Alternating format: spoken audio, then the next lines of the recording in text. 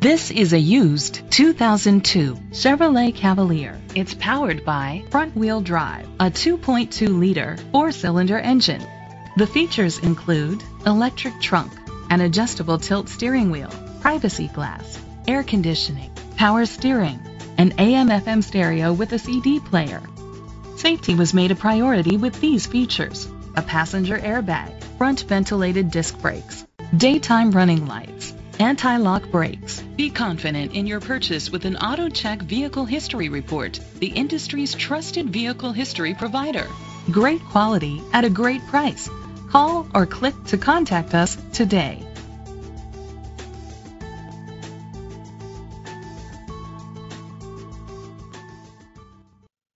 Reineke Ford Lincoln is dedicated to doing everything possible to ensure that the experience you have selecting your next vehicle is a pleasant one. We are located at 12000 County Road 99, Findlay, Ohio 45840.